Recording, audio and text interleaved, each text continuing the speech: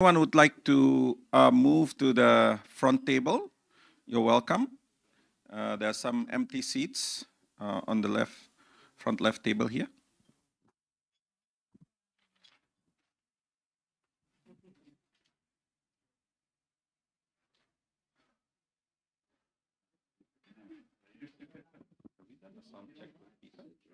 Yesterday I did not today.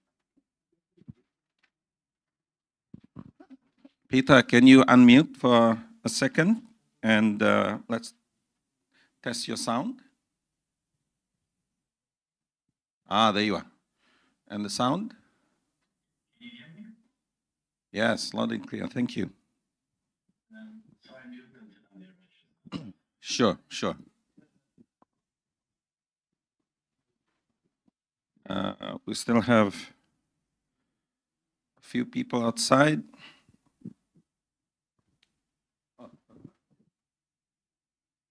Otherwise, close the door, please.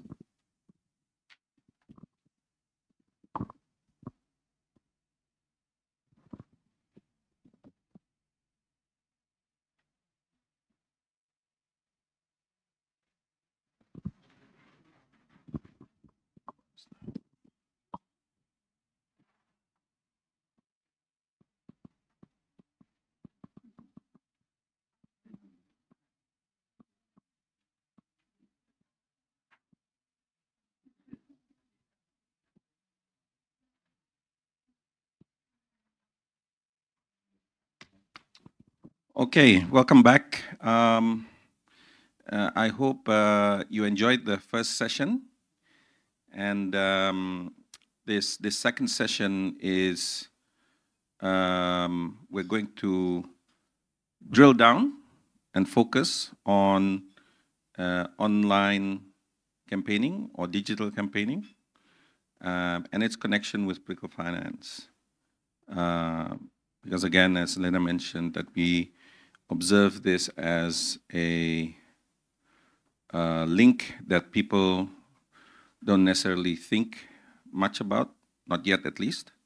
So we try to promote awareness of the importance in linking uh, the act of campaigning, political campaigning, in the digital world with political finance, how it's regulated, how it is uh, transparent, how it is reported, how it is enforced.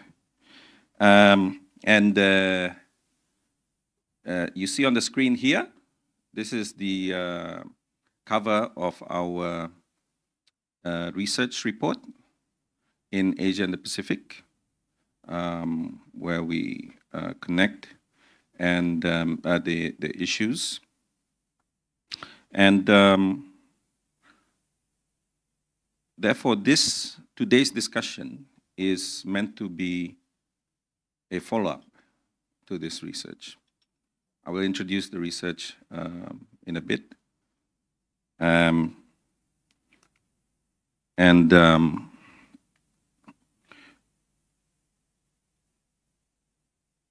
is it moving? Not yet. Yeah, oops, oh, okay.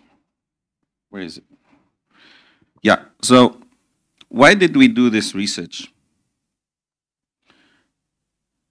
So, as we observed, there are more and more, well, campaigning, political campaigning is shifting from conventional means to digital means, right? While at the same time, we are countries are always improving their political finance regulations and enforcement because it can be a political threat. The use of money in politics, that is. So we feel the need to bring together, make the connection. And as I said, it's generally under-examined there's not yet, until we've done it, a systematic study in the Asia and the Pacific region. Um, my colleagues, uh, Khushbu and Yuki in Stockholm, are also taking a look at this from a global lens and also working with other regions. Uh, we happen to be in Asia and the Pacific, so uh, that's where we are today. And also trying to look at how effective regulations or lack of regulations in, uh, in, in the region. So uh, I will skip definitions because uh, Peter and Khushbu will be talking about them. Um, and how we did it, we, we did a desk study basically, literature review, um, and also we use the political finance database that International IDEA has, uh, which is uh, aptly managed by Khushbu and, and the team in Stockholm. Um, and also we did uh, five country case studies. Um, we picked one for every sub-region. Um, and uh, so we get geographic diversity. And also we picked uh, the two most populous countries, or democracies rather, let's be more specific on that. um, in the uh, in the Asian Pacific region, which are India and Indonesia, and then also um, uh, other sorts of uh, diversity where we have um, uh, developed countries like Australia and Japan uh, to uh, a Central Asian country like Kyrgyzstan in the um, case studies. And um, uh, this will continue to be expanded. The study will go in deeper, um, also in, in collaboration with uh, our team in, in Stockholm, at the headquarters in Stockholm. Yeah. So,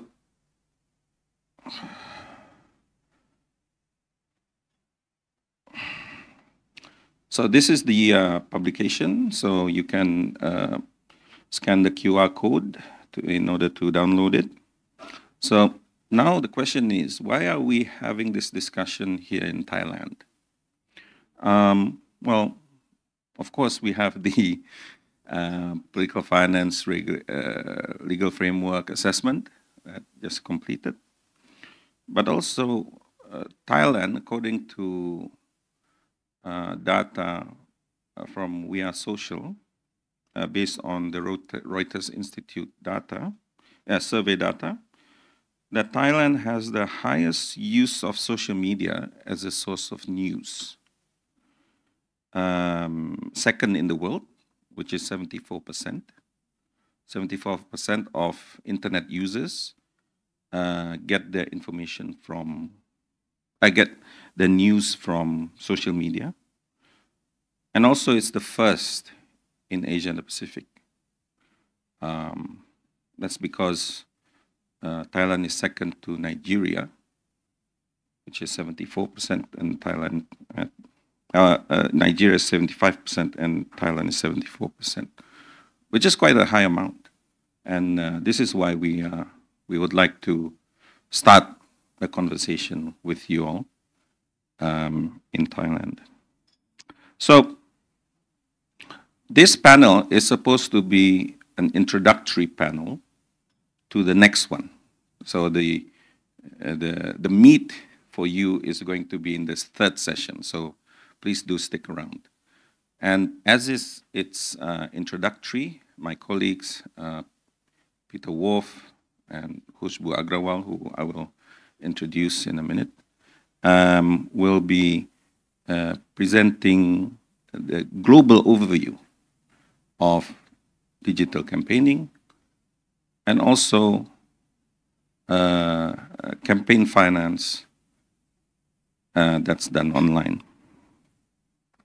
Yeah, so our, our first panelist is uh, Peter Wolf. He is um, um, senior advisor at the electoral processes team in Stockholm, at our headquarters in Stockholm. And uh, he focuses on the application of digital technologies in elections, uh, emerging challenges, and uh, sustainable and trusted implementation of ICTs in electoral processes. Yeah. So he's, he's the best person at IDEA to speak about this. And then uh, on stage, uh, Peter is online with us in uh, uh joining from Stockholm. So thank you very much, Peter. Uh, it's um, uh, what time is it over there? It's six six a.m. six morning, six in the morning. Um, and then I have Khushbu on the stage with me, who is who has been working with me for a number of years on political finance issues. Um, so uh, Khushbu's research and work focus on political finance and influence of money in politics and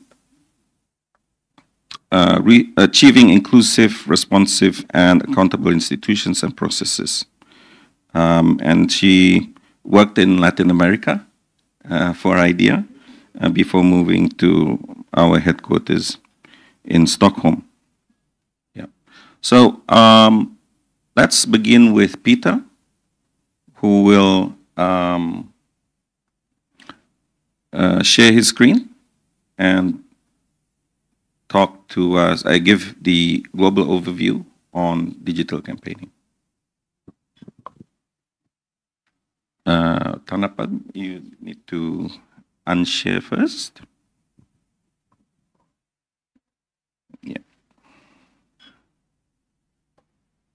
Thanks so much, Adi, for this kind introduction. Just to check, can you all hear me already? Yes, we can. Thank you.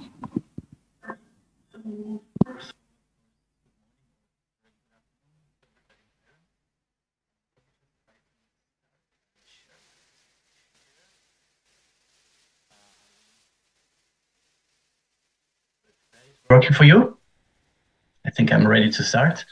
Um, so what do we want to do now? I mean, basically, as you heard from Adi, we'll have two panelists here, um, while Khushbu later on is going to focus more on the financial, on the um, um, money aspects of digital campaigning. I just like to talk a little bit about the broader aspects of digital campaigning that go a little bit um, beyond the money. So talk about some of the opportunities, some of the challenges, and some also of the emerging uh, solutions, including regulatory solutions um, when it comes to digital campaigning.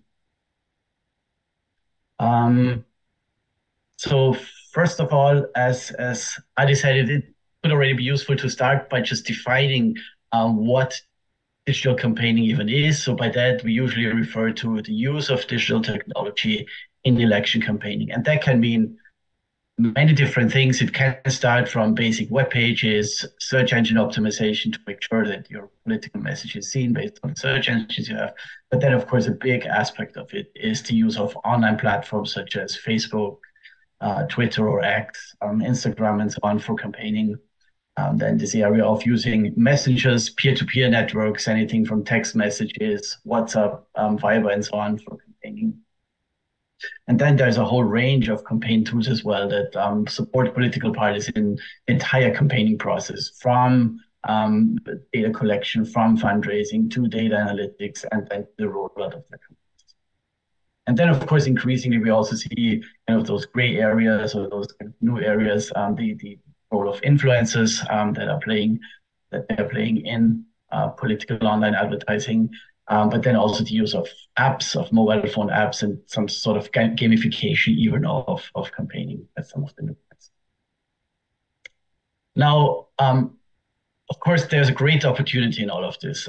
Um, all of those digital tools are really not only new, but also very effect, effective methods, methods for parties and candidates uh, to increase their reach, um, make this link um, to to voters that has been increasingly become difficult for, for partisan candidates to make, uh, to enable two-way discussions between the parties, between the candidates and um, their voters and their electorate. Um, and because of this efficiency of it, um, over the past decade, we've certainly seen a lot of uh, shift um, of advertising to the online sphere and a lot of transformations that happen. Um, so in many countries, what you see now is that the online space is the new go-to space uh, for political campaigning. Um, you see from election to election, more and more money being spent on advertising online and maybe uh, traditional advertising going back, um, also because again of this big efficiency. And you also see a whole um, formalized industry now emerging, supporting political parties in using all of those digital and offering professional services around it, um, including all of those data-driven. Um, that, of course, has not only opportunities, but also several challenges. And again, later on, um, Khushbu is going to discuss all of the issues that this raises for the question of financing and money, how difficult it is to trace money online, how difficult it is to keep on track and, and keep raising um, third-party spending. But there's also a lot of issues that go beyond money. Um, just change campaigns because um, those technologies can make um, increasingly opaque. It's becoming very difficult to establish some sort of transparency about who is um, putting out which kind of campaign messages to which audiences and so on. Um, there are very sophisticated target methodologies available that can actually lead to quite a lot of maybe unfair um, manipulation of voters. Um, all of this can contribute to more of the problematic polarization within many countries already. It can contribute to the spread of disinformation that we see in, in so many countries today already. Um, it can also support possibly poorly intended malign actors from abroad to interfere in electoral processes. And the additional challenge is that all of this is moving very fast. So as election administrations, as regulators try to keep pace with all of those developments, um, usually technology is already one or two steps ahead. Now, all of this together leads to the risk that with digital campaigning becoming more and more prominent, uh, there is a possibility that all of this is jeopardizing the integrity, uh, the fairness of the democratic debate.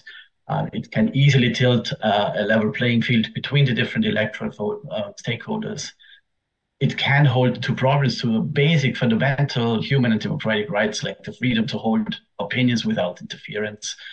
Um, and of course, it can also be a very attractive avenue for possible malign foreign actors. Uh, Now, of course, those things are not entirely new. Those technologies are not entirely new as well. And I think a big turning point when it came to the discussion of all of those tools was the year 2016, uh, where there was kind of a widespread recognized recognition in many countries, especially after the US elections back then and the Brexit referendum and the scandals around Cambridge Analytica, that something has to be done about it. And in all of honesty, and with all the criticism that tech companies sometimes are getting, it's probably fair to say that a lot of the action that was initially taken was done by the tech companies themselves. A lot of this action initially focused mostly on the online platforms of the many tools I listed and I mentioned before. Um, it had to do with things like trying to restrict um, political advertising from abroad as much as possible, putting in the appropriate control mechanisms um, for this, um, creating those advertising repositories that some of you might familiar with, be familiar with, for example, what you see on Facebook, those those ad libraries that they're offering, where you can search, browse which countries, sorry, which parties have um, placed which political ads. Um, there was also increasing um, targeting restrictions um, and uh, kind of the sophistication of the targeting tools that has been offered by platform has been um, reduced a little bit. And then plat some platforms even went all the way to completely banning advertising, at least as far as their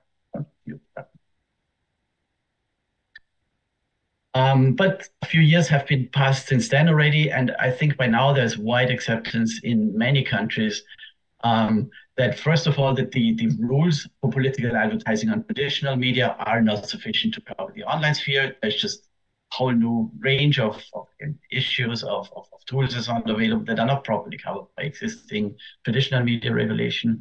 But we've also seen that the self-regulation, this action that is taken by platforms, um, is not necessarily sufficient. Um, the problem is just, just that, of course, every platform is um, responsible for doing their own terms, um, their own implementation of those terms. Um, this can be quite uneven, starting from even the definition. What is a political ad? What kind of things are they reducing, making more transparent, or preventing in some cases? Uh, the uptake between platforms varies a bit, and of course, you're always ultimately dependent dependent on the goodwill of. So overall, there is a trend now towards looking into how can this whole area be regulated. Um, tackling it from um, platform regulation perspectives, from perspective of new regulation for online political advertising, uh, to some extent, um, data protection regulation is also playing an important role here, especially when it comes to targeting the use of personal data to get those messages. Um, but also a problem here is that oftentimes there's a lot of um, asymmetries in the information and the skills that are available to the platforms that have a lot of, of course, the skills. Uh, they have all the data, they have all the knowledge about um, the issues that are out there, and also the countermeasures that are possible, and the regulators that try to follow up with. So what we see at the moment are very few countries that have really ventured out um, into regulating this online political advertising space um, a lot, but there are some pioneers, some interesting cases from from which we can already learn um, quite quite noteworthy are maybe the efforts of Canada that already started several years ago with this, um, Ireland that has also quite an interesting ongoing process. Then of course also some um, regulation in, in several of those areas coming out in the European Union um, right now. The reason why this is such an under-regulated area according to some of the interviews that we had with um, election management bodies in many different countries, is that many countries, especially smaller ones, but also even larger ones, feel that they don't have the legal and the technical capacity to properly regulate in this area. Um, there is also concern about a lack of leverage with the platforms. So there's always a risk if um, regulation is introduced that platforms find cumbersome to adhere to, especially if the market is very small, that they just withdraw from a market or that they, for example, ban political advertising. So this was one of the first reactions that Canada experienced at the time when political advertising was still allowed on Twitter. As soon as the regulation in Canada came out, um, Twitter actually decided this is too risky, complicated for them. So they ended up with completely banning political advertising at the time Canada. So there are some of those technical issues, but then there's also concerns about um, the freedom of expression. So of course, regulating um, into um, the, the online political advertising, um, that there's always a risk also that this goes too close into the kind of messages political parties are sending, the content of messages. And there is a very fine line um, as this regulation is being developed between again preventing the harms that are possible um, on one hand, but on the other hand also damaging freedom of expression, freedom of and then overall, I guess as always, um, maybe even with financial regulations, there there's in some countries also lack of political regulation like this forward. But nevertheless, from some of the emerging cases of regulation of online platforms and online uh, advertising, um, we can already draw some conclusions about common provision that um, such regulation entails. And I'll be very brief about this. I, I think um, diving deep, deeply into this will take a lot more time, but basically what I see in a lot of this regulation is that um, it focuses on, first of all, defining what is a political ad, defining the scope of what political advertising is online, and that is quite difficult to rate. So there's always this tension there between having a too broad definition, which can have killing effects even on civil society, on um, you know, actors beyond political parties, especially when it comes to this question of issue ads, so ads that are not directly about parties or by parties, if they're just issues that are maybe relevant for a campaign, should they be covered by this regulation? And also that can be quite quite tricky um, to define. And, and um, so that whole area of definition is actually not really easy to solve. Uh, but then another question is how do you identify political ads and advertisers online? Who should be responsible responsible for this. Sometimes that's also not a straightforward process. Should it be the platforms that are responsible? Should it be the parties that have to declare every single thing that they're posting online to say this is a political ad? Um, who's responsible in case this detection of political ads or this declaration doesn't happen? Um, then provisions often focus a lot on the transparency of political advertising. That's transparency both towards the voters. So voters see what they're seeing on screen understand that this is a political ad, understand who's sending these ads to them, um, understand to whom this ad is being targeted, so transparency towards the voters, but then also transparency towards observers, um, regulators, election administrations, um, researchers, giving access to the data about the campaign like the campaigning online to all of those for, for more deeper analysis. And those advertising libraries I mentioned before are just the starting point. There's probably more um, that's going to come with some of this regulation. Um, another area is then what kind of responsibilities do platforms have? Um, do they, for example, have to establish um, a legal representative in a given country so that they can also be held accountable, or ultimately will um, a lot of the relations with the platform still depend on MOUs and um, kind of good relations, which also is, is, is needed in some countries. Um, do they have to do some sort of a risk assessment? What kind of data do they have to provide and so on and then finally, of course, a, a, big area of concern is then always also the question of content and to what extent should content be regulated. Um, here, current regulation is very careful. So a lot focuses on transparency, very little focuses on content. And with content, there's usually this rule of thumb that what should be illegal offline should also be illegal online, but it shouldn't go a lot further than this. So of course here there's a big um, danger always in um, risks uh, to to uh, political freedoms, political rights, and so here it's, it's always this important weighing process, um, and, and a very careful approach is going to be. So this is a first overview of what's happening in the online space beyond political finance, what kind of regulation is coming. Again, this is only a starting point. We will have a publication coming out in third quarter of this year still, where we looked into the more detailed provision of some of the existing regulation already, draw some more detailed conclusions. So um, we can certainly provide you with more information as this publication is going to be out and you'll find a lot more details there. And I think at this stage, I'll leave it here and hand over to back to Adio to put now. Thank you very much.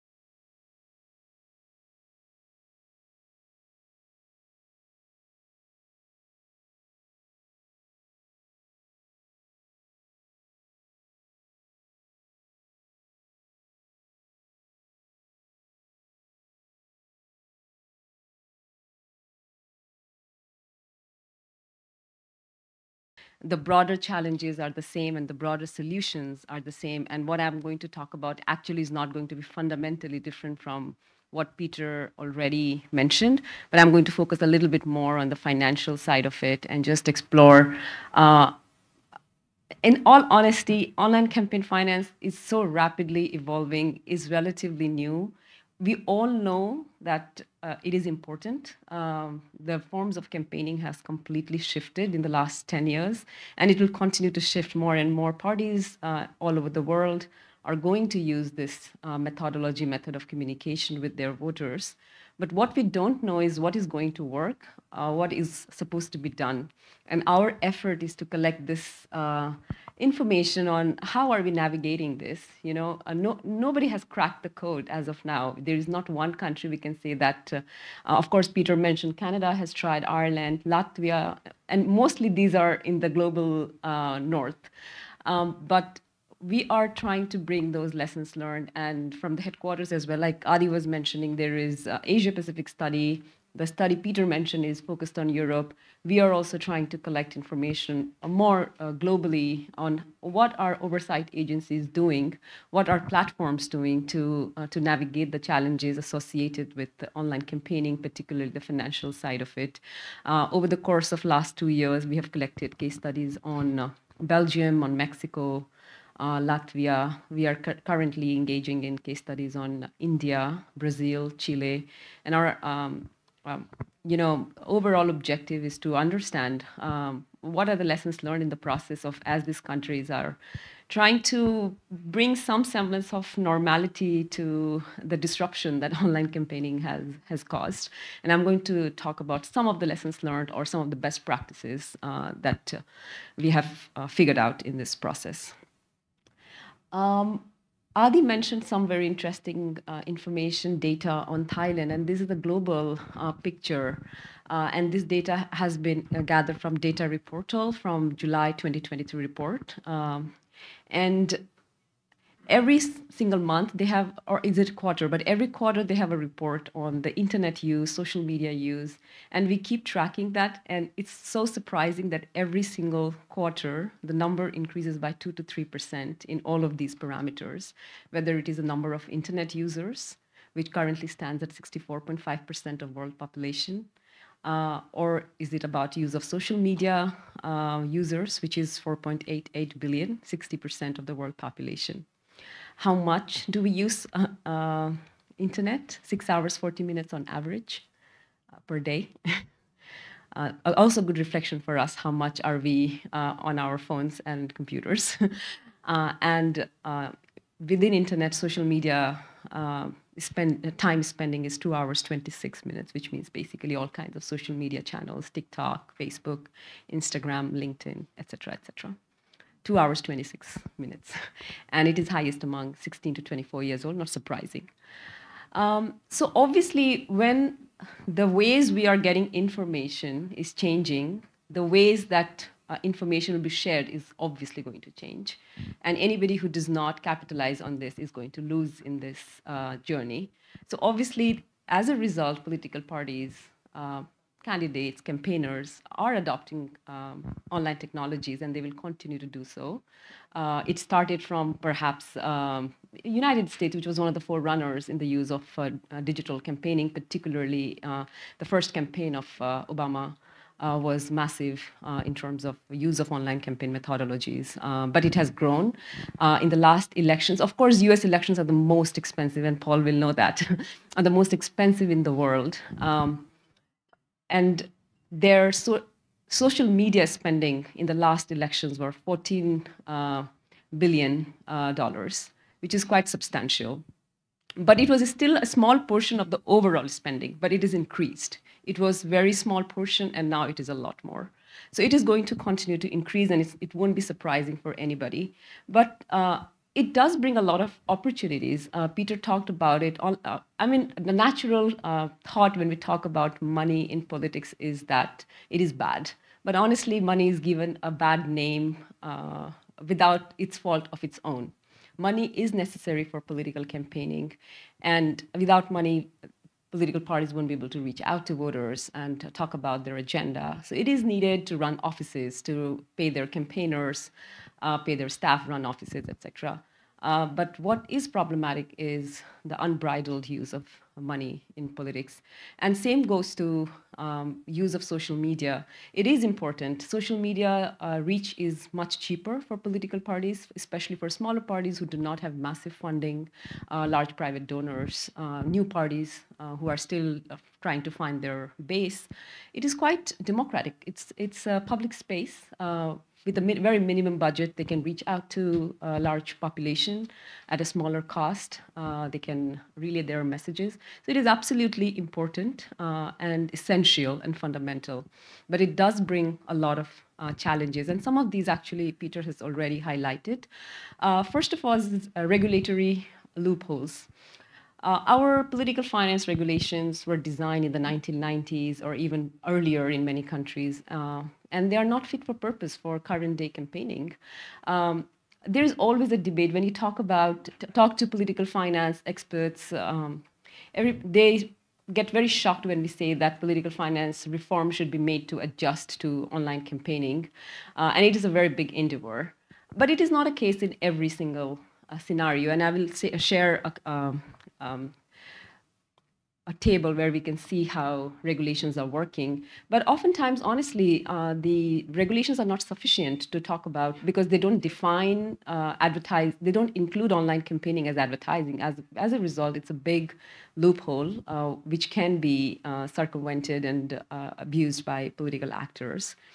Uh, and at the same time, uh, online campaigning, when you when somebody engages in online campaigning, anybody can pay for it. It does not necessarily have to be political party or a candidate. Uh, so, if a country does not allow for third-party campaigning, uh, the platform regulation should also talk about not allowing anybody but political actors to uh, engage in online campaigning. But oftentimes, uh, these regulations are absent.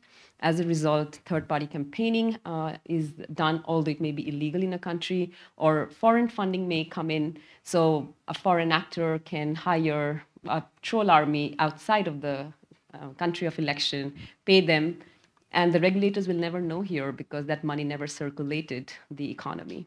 So these are the some, some loopholes that can be uh, used. Uh, and then finally is organic campaigning. It cannot be considered as a loophole because organic campaigning is no different than volunteers going door to door and canvassing for uh, political parties or candidates. But at the same time, uh, oftentimes, and we were doing a study on, uh, as part of our case studies uh, approach, uh, we worked on a case study on Canada. And in Canada, one of the um, third party campaigner went on record saying that we invested no money on organic campaigning, but our reach through the organic campaigning was ten, tenfold more than our reach uh, through um, paid advertising. So, what is the thin line? Do we let it go just because it is organic and it is uh, freedom of expression, or should there be a limitation? Uh, when they were engaging in organic campaigning, did they hire volunteers? Did they pay them anything? How much money was involved? So all of these regulatory uh, loopholes need to be addressed somehow. Uh, and of, honestly, we don't have all the answers, but this is an opportunity for us to have a fruitful discussion. Uh, second, Peter already mentioned, so I won't go very much into depth, is the speed of innovation versus legislative reform process. Um, the ways we campaign, the technologies, they are just going at a speed uh, that our legislative frameworks are just not uh, apt to catch up. By the time we have caught up with problem A, uh, problem A is no more the problem, problem B is the problem. so it is very, very difficult to catch up and play this game of catch up with uh, the new forms of uh, political campaigning. So, what is the solution to this? Uh, there is no point in fighting this um, lack of uh, responsiveness because legislative processes are time consuming. It needs uh, political consensus, uh, it's a legal process. Uh, and I will talk about some solutions to this uh, in my next part of the presentation. Uh, but the idea is to make legislation broad enough to not be specific to a certain form of campaigning or, or certain ways uh, money is being spent, but make, make it all encompassing that even though if new technology in the future, AI comes into elections or political parties start using artificial intelligence for campaigning or for, which they're already using, but maybe in a bigger, uh, you know, um, larger scope. Um, so make legislation broader to encompass for, uh, you know, bigger issues. Uh, then the information disclosure by platforms. Um, I was listening to a presentation by somebody from Meta, uh, and a lot has changed uh, in the last five years on how Meta or Facebook Ad Library, as we uh, popularly know as, has evolved its processes on how it is, uh, you know, making ads transparent and making sure that they are following the legislation of the country. But again, what Peter mentioned, we can't uh, you know, hold legislation uh, as a responsibility of platforms. Because platform platforms are not responsible for regulating self-regulating themselves. It should it should be uniform for all kinds of platforms because currently uh, I'll give example of just Meta and Google. They're very different in their approach to political advertising. They're also very different in their approach to how they are um, making um, the financial aspect transparent on who is paying for the advertisement, how much was spent. Just the definition is very different. Facebook has a broader definition of uh, political ads. For example, it includes includes social ads and issue ads as political ads, whereas Google does not. And there are some platforms that don't define political ads at all. And this is important because this has implication for how much money was spent on uh, political advertising. Um, then capacity of oversight um, agencies. The scale is massive. Um, so our oversight agencies were already struggling in the analog world. And now with the new uh, technologies and uh, the amount of money that is being spent, or just even not the amount, but the scale of campaigning that is happening online. It is just very difficult for many of our oversight agencies to be able to conduct that investigative uh, reporting and making sure that what the political parties are actually reporting is what they actually spent. Uh, it is again related to the information disclosure by platforms because um, ad libraries are not available in all countries, and they're also not available in the same format in every country. So uh, oversight capacities, the human resources uh, lack the training or the capacity or the time. Uh, often oversight agencies uh, focusing on political finance have very small teams and very small budgets. Uh, an exception, there are exceptions, like Mexico is a massive exception. They have a very, very big team, and they are one of actually countries that are doing a little better in compared to others. But such kind of uh, uh, funding is not available uh, to every oversight agency, and it's very difficult to keep that monitoring. And finally is interagency coordination. So when we talk about online campaign finance, it's not just one uh, body that is responsible or one body that is engaged. There's a lot of uh, parties involved in this. There is, of course, the oversight agency. There's the advertising council. There is the issue of uh, uh the courts, probably, and also uh, PR agencies. There are private companies for and social media platforms. So there's a host of uh, different um, agencies that are involved, and oftentimes they don't have interconnectivity and they don't talk among each other, and it's very difficult to uh, have those kind of coordination uh, mechanisms put in place when all their lives they have worked in silos. So these were some of the challenges. Um, um, so in each of these challenges, I will go very quickly on these five challenges. What are uh, possible solutions or best practices, uh, and what we have noticed in our case studies that we have conducted uh, so far. There are four contexts of regulation. Um, and when I was talking that people get shocked when we say or oversight agencies or uh, policymakers are like, but it's not possible to change our entire regulation just because uh, one aspect of campaigning is not involved. So we kind of put in a um, continuum of uh, what kind of, uh, there are four contexts of regulations. It could be context one is political advertisements, uh, is in general is largely unregulated. Um, and I, I, have to give example of Sweden because uh, I come from there. In Sweden, actually, political finance is very, very loosely regulated.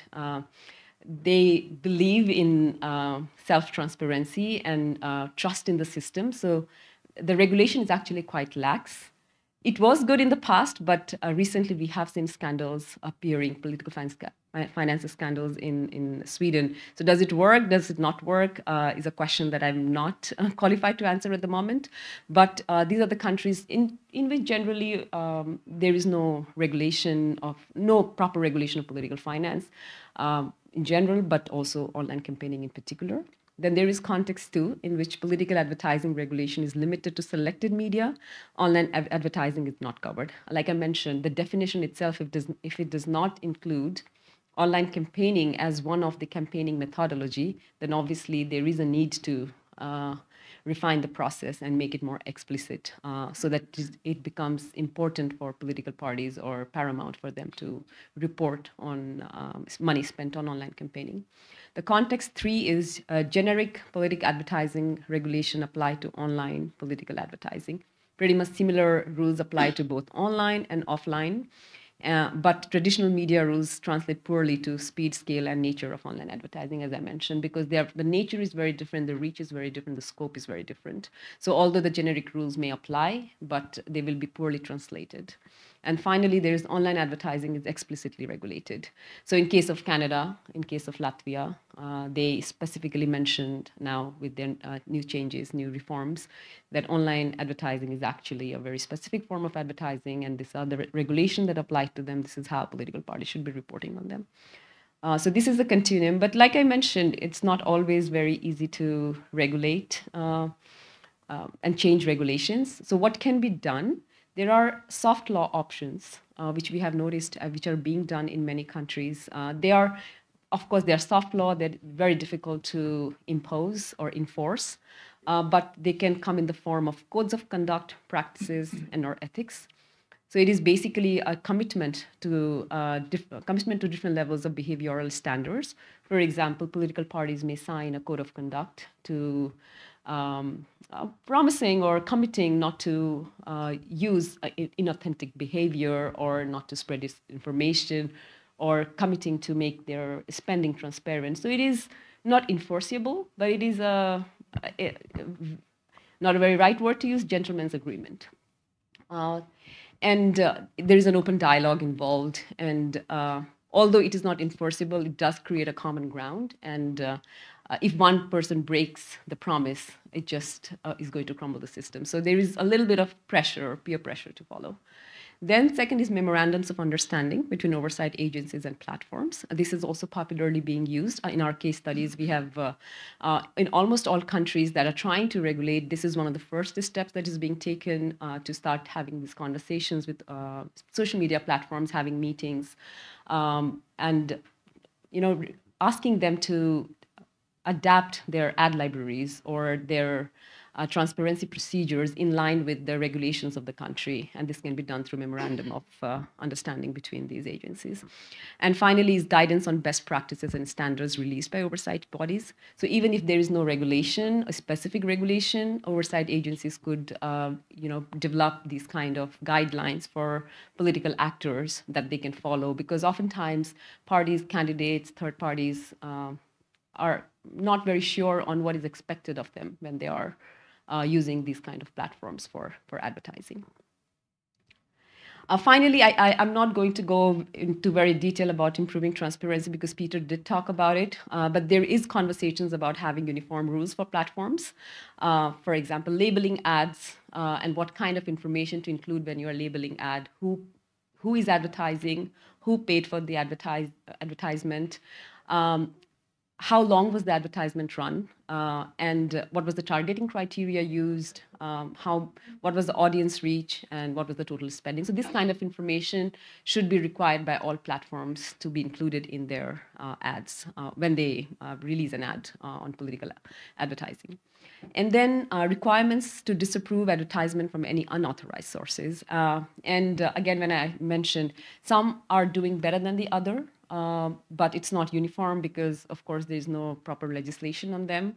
So there has to be, um, through this memorandum of understandings or conversations, oversight agencies are talking with uh, um, social media platforms to have these kind of uh, requirements that if uh, elections are happening in Thailand, only people based in Thailand should be able to pay for an advertisement. It should not come from any foreign sources. There should not be no mm. cross-border transaction, for example. Or if a third party is not allowed to um, campaign in um, in the country, then nobody other than um, the political party representative or candidate should be able to pay for the advertisement. So stuff like that, you know.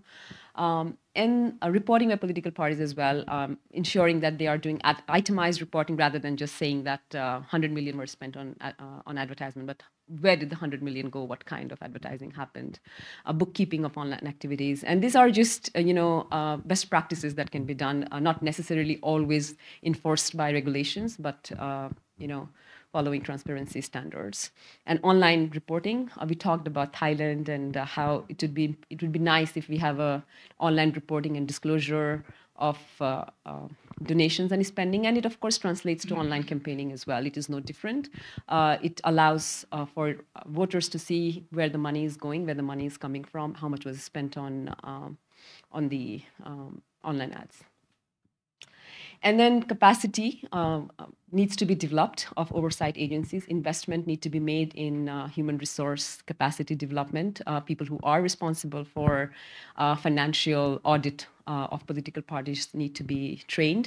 And this training should also happen within the political parties, not just the oversight agencies, because they are the ones who are actually going to report. So this kind of capacity building activity should be done. Um, and uh, resources. Uh, an oversight body is only good enough if it has the right mandate, uh, it has the human resources, uh, the technical capacity, but also the financial resources. Like I mentioned, some uh, agencies are much more resourced than others, uh, but without proper human resources capacity, it's very difficult for them to now, you know, go into this wild west of online campaigning and uh, making sure that everything is being done by rules.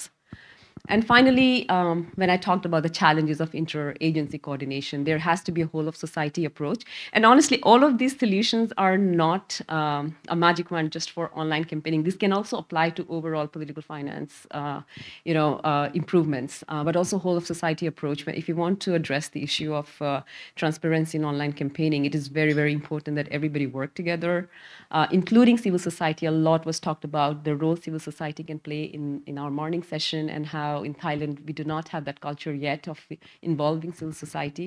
But without the engagement of civil society, independent media, and private sector, it's very difficult to achieve what we aim to achieve in terms of transparency. Um, because if civil society is able to track what is being done by parties, they can make them accountable, they can raise the issues, they can lobby for better transparency mechanisms, and so is so can in, an independent media. Uh, an example, just I, I um, uh, I said when uh, also governments are talking to uh, social media companies. Uh, they should um, collaborate with them to make sure that their ad libraries are more uh, you know, comprehensive, uh, downloadable, um, and uh, has a proper breakdown and shows the sources of all the information. So it, it requires a lot of coordination. It just it is not going to be solved by um, one or two group of people. So this is uh, from me, very generic. Uh, our case studies are all available on our website uh, of uh, International IDEA. We curate all our um, digitalization work on money and politics on, on this website. So you can go through it, you can read, and we'll we continuously keep updating. Our overall objective eventually is to take these case studies and develop a report. I'm not going to be coming anytime soon like Peter's, but uh, maybe over the next years to to collect these evidence and uh, lessons learned and best practices from different countries and come up with, uh, uh, with something that can be useful for other jurisdictions who are trying to uh, work uh, and navigate this, uh, this phenomenon. Thank you. Thank you very much, Khushbu. Let's give a round of applause. And, and there you have it, the two aspects that we would like, we're trying to connect here, digital campaigning, um, political finance, um, I, would like to acknowledge uh, HD Center, actually, where we have Cartoon uh, among us uh, uh, uh today. Uh, they have done a lot of work in this in this space, so um, so we're not alone. Um, it's um, it's us. It's between us and lunch now. Um, anyone have any questions? Yes, sir. Please.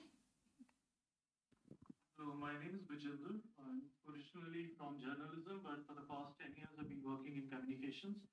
I have a question perhaps Peter can answer. So the simple question is going beyond digital campaigning. What do you think the impact of the new generation of AI tools will have on electoral processes and perhaps electoral outcomes? And as a follow up, how does it impact voter anonymity? Thank you. Peter?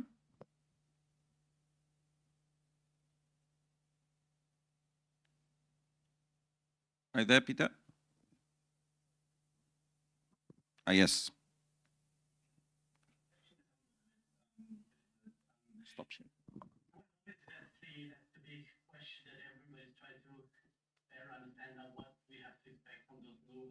Obviously, whatever issues we've seen now can be massively be accelerated um, by by those new AI tools. Obviously, as well, especially on the programming tools, or campaign strategy have to write a lot of data analysis. Um, the more you can optimize it, the more sophisticated you can get, at least if unregulated environment more problematic.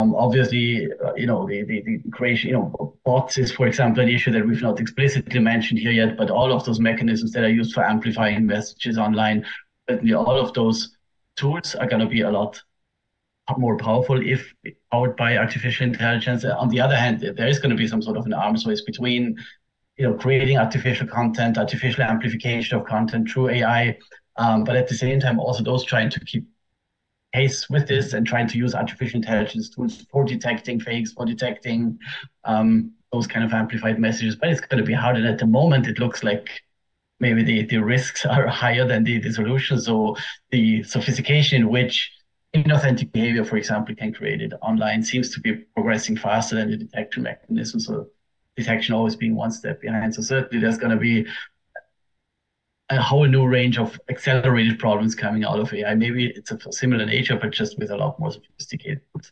Um, there was a second part of this as well, uh, uh, uh, anonymity of voters, I think, or of data protection and so on. Yeah, anonymity um, of voters. Uh, so that so would you directly be worried about like voter data collected as part of the electoral process that that somehow would be analyzable and and like the secrecy of the vote would be threatened or that more kind of voter that data would even be or citizen data would be more and more um, again breached and and kind of data protection rules become more and more important because I, yeah, I, I, guess uh, if it's about the uh, about the secrecy of the vote and so on, it really depends obviously about the kind of data that's being collected by the election administration. That might actually be more, mostly an issue with um, online electronic voting, of course, if and how those tools are protecting the the um, identity and the vote and you know separating the identity of the vote and the vote. So I think that's almost a separate discussion. Otherwise, I think for the for, for data protection, we'll have to rely a lot on data protection regulation that does exist uh, many countries already. I'm not sure if AI is going to change that a lot, though. So ultimately, you know, that's going to be a responsibility for all, at least legal campaigners, to adhere to data protection rules. I'm not sure about the Thai context, but oftentimes that is actually a major concern for parties. Now already, how do we comply with existing data protection regulation? How do we not breach this as part of our campaign? Sometimes, especially European Union, the risks are very high, the fines are very high if you breach data regulation. I guess that's at least one of the approaches that you can expect for limiting this. Um, but yeah, not, not sure otherwise how anonymity would be directly affected by by the. All right. Um, any any other questions?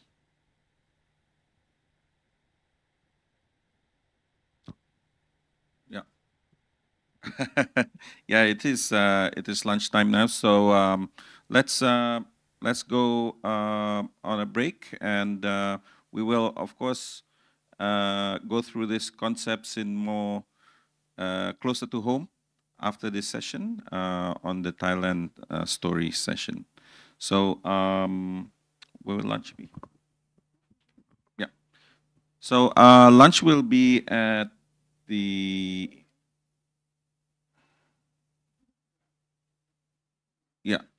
yeah so uh, we'll break for one hour until 1.45. Yes. Um, so we'll be back here, 1.45. Thank you, and thank you very much, Peter, for um, joining us so early in the morning on your side. Thanks, everybody. Have a great lunch. I'll have a good breakfast now. Yeah, have a good breakfast.